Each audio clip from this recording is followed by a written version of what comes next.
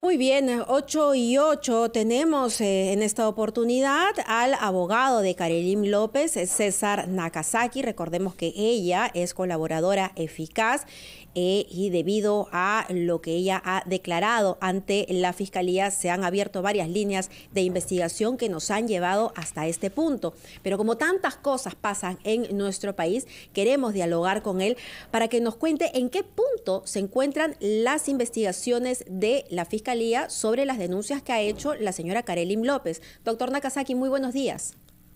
Buenos días, Abel, Fernando, Carlos. Buenos días, doctor Nakazaki. Con ustedes. A ver, nos distraemos mucho con los escándalos del día a día, con la crisis política, económica, pero queremos centrarnos en este caso específico. ¿Cómo van las investigaciones?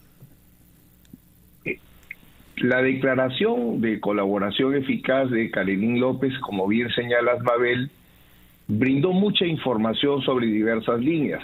Y la engarzo con la que acabas de señalar.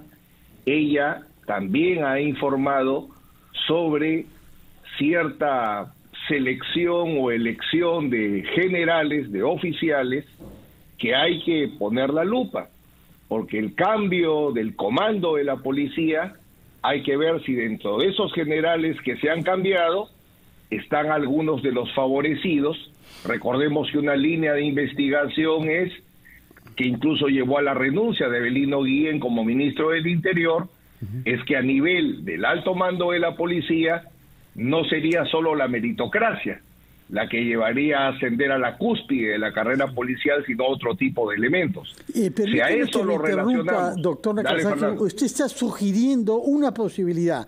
Pero ayer el exministro Carlos Basombrío sostiene que cinco de los generales ascendidos que están en puestos de alta responsabilidad habrían sido beneficiados sin ninguna inocencia, previendo quizá lo que está pasando. Entonces la pregunta suya ha sido contestada ayer por el exministro Carlos Basombrío afirmativamente. Acá no hay casualidad.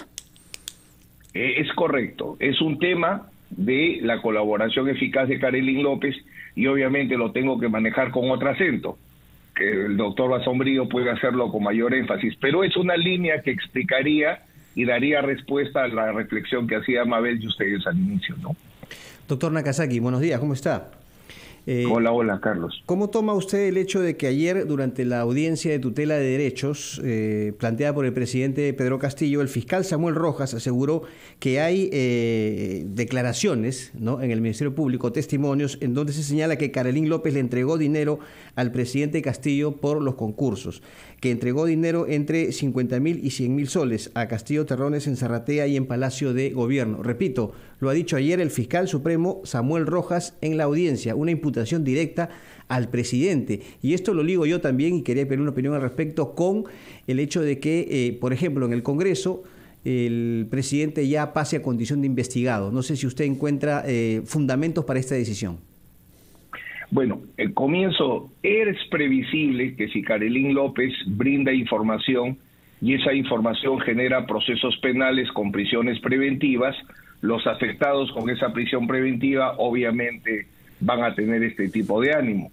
Entonces, lo concreto es que respecto al tema, ya ha sido aclarado dentro de las investigaciones y se ha verificado, por eso es que Samir Villaverde no sale hasta el día de hoy. La fiscalía en su momento tendrá que ser coherente porque tendrá que elegir con qué teoría del caso termina armando la organización criminal donde sin duda alguna hay indicios suficientes que el presidente de la República, designando una serie de funcionarios, el secretario Bruno Pacheco, Samir Villaverde y los sobrinos, desde el MTC realizaron una serie de actos indebidos. Perdón, doctor, disculpe, eh, una aclaración, una precisión. Usted dice entonces que en la, en la posición expresada por el fiscal supremo Samuel Rojas no ha habido coherencia con lo que dice en el sentido de, las declaraciones que involucran a su patrocinada con la entrega de dinero o, no es así? Sí.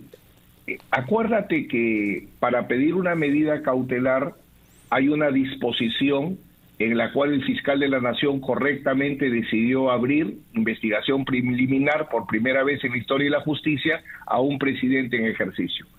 Si tú lees esa disposición, esa disposición se construye sobre el testimonio de Karelín López. La medida cautelar de impedimento de salida del país contra el, el exministro de Transportes y Comunicaciones, los congresistas llamados niños, también se construyen sobre su testimonio. Entonces, que el mismo fiscal utilice dos pruebas contradictorias, bueno, evidentemente no lo ayuda, ¿no? Eh, pero aquí, perdón, aquí qué tanto tiene que ver Samir Villaverde, porque si bien usted indica que todo esto se ejecuta en base a lo dicho inicialmente por la empresaria Karelim López, es el señor Samir Villaverde quien entendemos ha entregado audios, ¿verdad? ¿Cuál es la condición del empresario Villaverde? Samir Villaverde, como ya se ha dicho públicamente, es colaborador eficaz en el proceso penal que se le sigue por el caso del puente Tarata. Entonces, ahí ha dado una versión respecto a la organización criminal, la reconoce. Respecto del rol del ministro de Transportes y Comunicaciones, el secretario Bruno Pacheco y los sobrinos, los reconoce.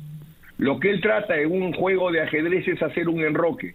No soy yo, es Karilín López. Ahí es el punto donde se genera fricción y la corroboración es la que manda.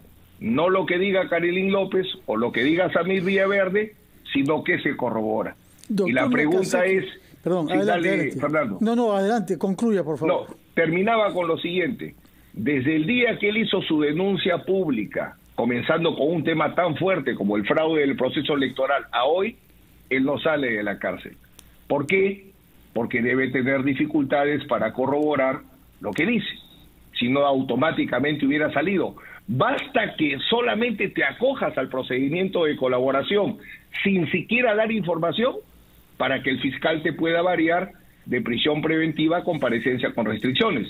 El tema de la fiscal Cesenarro es que ya estableció una tesis, ya abrió proceso, ya pidió prisión preventiva y esa tesis es absolutamente choca con lo que está planteando el señor Villaverde en sus declaraciones. Doctor Nakazaki, quería preguntarle, todas estas investigaciones y estos caminos complejos dependen de una decisión que la justicia constitucional debe tomar, es si la investigación fiscal al presidente Castillo debe continuar o no como su defensa legal sostiene. Quisiera que después de una breve pausa, por favor, nos explique usted, dada su experiencia como penalista, si el argumento según el cual la Constitución prohíbe que el presidente sea investigado tiene validez jurídica o no. Nos lo contesta, por favor, después de escuchar a los anunciantes de RPP. Son las 8 y 19, estamos, ah, estamos entrevistando al abogado penalista César Nakazaki, al que le planteamos la pregunta sobre la validez jurídica que puede tener la demanda hecha por la defensa de Pedro Castillo, según la cual hay un derecho constitucional a la inmunidad concedida por la Constitución que se le está negando. ¿Cuál es su opinión sobre esta tesis de interpretación de la Constitución, si bien tiene naturalmente repercusión penal? Por supuesto y me obliga a comentar este tema la experiencia excepcional de haber defendido tres presidentes de la República, con lo cual me he exigido mucho analizar las prerrogativas constitucionales. no vi la audiencia de tutela de derechos de ayer, lamentablemente no tuve la oportunidad. Menos mal, menos mal porque hubo incidentes desagradables. Pero sí, sí, ya saber el contenido que no importa. Sí, sí, sí, es cierto. E, el juez Checklin es un juez de mucha experiencia, presidente muy exitoso de la Corte de Piura, así que tengo confianza en la decisión que él tome, que será ajustada a derecho. Respondiendo a la pregunta, creo que el debate ha sido mal enfocado. La prerrogativa de inmunidad se llama del 117, es una protección procesal, cuándo se puede procesar y cuándo no. Esa discusión de qué significa acusar, si eso permite investigar o no, creo que es un error. El tema es sobre qué delito se protege al presidente con inmunidad. Eso lo planteé hace muchos años defendiendo al ministro Carlos Boloña Ver, cuando a todo el Consejo de Ministros querían responsabilizarlo por el allanamiento que dirige el expresidente Fujimori con sus edecanes y un abogado que se hace pasar por fiscal. Entonces pretendían que los ministros asuman la responsabilidad porque la Constitución dice que los ministros son responsables de los delitos del presidente. Pero pregunté qué pasa en ese momento, no me imaginaba defender a Alberto Fujimori, por cierto. Pero el ejemplo que podía era el siguiente. ¿Qué pasa si Alberto Fujimori mataba a Susana Iguchi? ¿Por homicidio también tendrían que responder los ministros? ¿Qué pasa si el presidente es narcotraficante o violador sexual? ¿Los ministros serían responsables? No. En esa línea la inmunidad solo protege al presidente por delitos de función, por delitos que cometen el ejercicio de cargo del presidente, por actos presidenciales, una política, un decreto supremo, actos presidenciales. Pero los negocios de Zarratea y la información que nos habla que la organización incluso se habría creado antes que asume el cargo de presidente, me llevan a sostener claramente que no son delitos de función cometidos en el ejercicio de la función presidencial, porque los negocios privados de Zarratea obviamente no están en el ejercicio de la función presidencial. Entonces no habría la protección de la inmunidad y consecuentemente la investigación debe seguir adelante, como asumo que se lo estimará el Poder Judicial. Doctor Nakazaki, eh, tengo dos preguntas. Eh, una primera, que es una precisión básicamente sobre lo que le pregunté inicialmente en torno a esta declaración o este testimonio del fiscal supremo Samuel Rojas sobre nuevas declaraciones eh, sobre pagos de Carolín López a Pedro Castillo. ¿Usted ha tenido oportunidad de acceder o conocer esas nuevas declaraciones? Es una buena pregunta. Como lo que se ha conocido es lo que viene lo que viene informando un medio de comunicación, he querido que se canalice el procedimiento legal. Ya. Cuando hay una prueba contra una persona generada en un proceso de colaboración eficaz, lo que la ley exige es que la fiscal traslade de la colaboración eficaz, en este caso al proceso penal, la declaración completa. He pedido la declaración completa de Samir Villaverde y he pedido todos los actos de corroboración que tendría que haber acumulado la fiscal Cesenarro para, por ejemplo, poderlo enviar al fiscal de la Nación y pueda ser utilizado en una audiencia como la de ayer. No ha tenido acceso entonces a esas a esos nuevos testimonios. Mientras que sigue la colaboración eficaz, nadie puede tener acceso. Muy bien. ¿Y eh, usted cree, eh, doctor Nakazaki, eh, habla usted de una especie de, cruce de versiones de parte de Carolín López con Samir Villaverde? ¿Usted cree que hay una intención aquí en esta investigación de favorecer en la misma a Samir Villaverde y al propio presidente Castillo? Bueno, no, al presidente Castillo definitivamente, a ver, vamos por partes. Sí. En el tema de lo que declare Samir Villaverde es responsable él ni siquiera su abogado. Por tanto, él es el responsable de sus dichos y él tendrá que confirmarlos. Este, que la fiscal Cesenarro tenga alguna intencionalidad, no lo puedo sostener y no lo he visto hasta ahora en ningún acto de investigación. Tan es así que ha sido prudente de no darle libertad hasta que él no alcance un nivel de corroboración. Y definitivamente le hacen el juego al presidente, porque si golpean el testimonio de Carilín López, que es la base de todo el caso que se ha construido, se cae la torre, evidentemente se cae el caso. ¿Quién le hace el juego al presidente? No creo que sea intencionalmente, no creo que sea intencionalmente, pero evidentemente hay que analizar bien qué tipo de pruebas se utilizan, ¿no? Porque si tú comentas que utilizan al mismo tiempo el testimonio de Carilín López y al mismo tiempo el testimonio de Samir Villaverde, eso no es posible. Pero hay más eso debilita el caso, no lo ayuda. ¿Hay más, ¿Hay más colaboradores eficaces en este caso? Ah, por supuesto, por eso es que estamos tranquilos porque cuántos cuántos no no te podría decir sino los que conozco porque por ejemplo, ¿qué conozco? En el caso del puente Tarata, a lo dicho por Carilín López, que Samir Villaverde, en contubernio con el ministro, ponían funcionarios, ya ha salido un funcionario del MTC que se ha cogido a colaboración eficaz y ha dicho en efecto, Samir Villaverde, por el cargo del ministro de Transportes y Comunicaciones, venía a hacer exigencias. Entonces, por lo menos que haya detectado, hay tres colaboradores eficaces y varios testigos que sin acogerse a la colaboración eficaz dan cuenta de las presiones que había o por el ministro Silva o por Samir Villaverde con el propósito de beneficiar. Por ejemplo, yo no sé hasta ahora por qué la Fiscalía no comienza ya con fuerza el caso contra el cártel de las empresas chinas.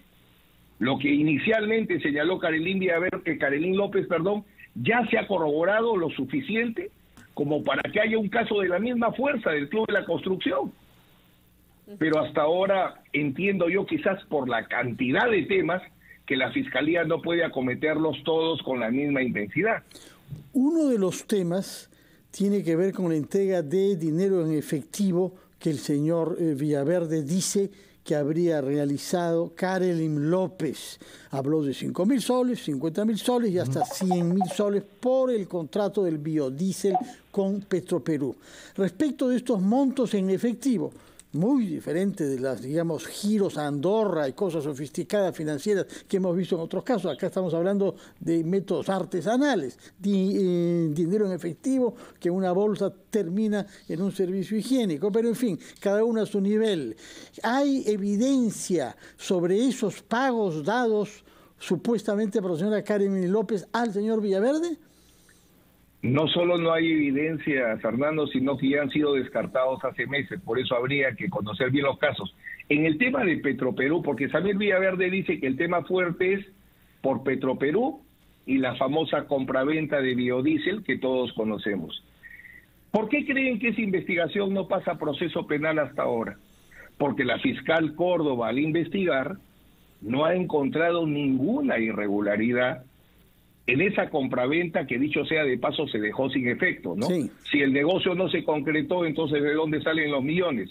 Pero ah, no nos ah, hemos, visto que se paga por, por adelantado en algunos casos, hemos visto. ¿eh? En, algunos casos, efectivamente, pero, pero acá no se habla en ese audio, esto es un regalo que te manda por adelantado, ¿no? Se habría dicho en ese audio famoso con el ex ministro Silva.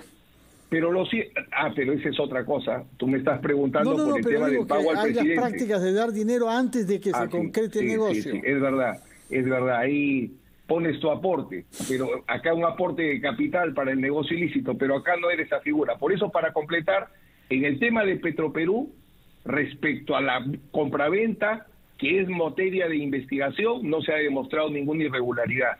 Pero para no quedarnos ahí, hemos pedido que se investiguen todas las compras de biodiesel que se han dado en el gobierno del presidente Castillo. Eso en materia de Petroperú y lo mismo se ha pedido en el caso del puente Tarata. Todas las licitaciones que han ganado las empresas vinculadas a los hermanos Pasapera y que hayan ganado empresas chinas. Entonces, hemos hecho un espectro grande para establecer dónde podría haber una irregularidad que pueda corroborar lo que dice el señor Villaverde no hay. Por eso es que hasta ahora, por más que han salido estas declaraciones fuertes, sigue en prisión. Doctor Nakazaki, eh, para terminar, eh, ¿su patrocinada, Karenín López, eh, ha seguido recibiendo amenazas? Gracias a Dios funciona, en eso tengo que reconocer el mecanismo de protección policial, pero las amenazas lamentablemente si bien son controladas, no han sido desvanecidas, por eso su familia ha tenido que salir del país. Ya, pero ¿qué tipo de amenazas son? O sea, a través de... de... En, su momento fueron amenazas tan duras, Carlos, que estando en el, en el directorio del fiscal coordinador Rafael Vela, en plena declaración, entró un WhatsApp donde señalaba, sé en qué piso estás, sé que estás declarando, cállate o tu hija y tu hijo que están en tal lugar van a morir. ¿Y esos mensajes siguen ingresando en ese momento? ¿Hasta ahora? No, ya no, ya no, ya con el control policial han cesado. Muy bien, muchísimas gracias al doctor César Nakazaki, abogado de Karim Lim López, quien en esta mañana pues daba cuenta de los avances de esta investigación que apuntan al eh, mismísimo presidente Castillo como líder de una organización criminal, cosa que ya se está eh, ventilando. Ayer lo hemos visto en una audiencia donde el fiscal supremo pues sustentaba la hipótesis de este caso y la verdad que escucharlo ha sido tremendo porque es la primera vez que estamos viendo que un presidente está siendo investigado y por estos supuestos delitos. Muchas gracias nuevamente. Son las 8 de la mañana con 31 minutos. Escuchamos los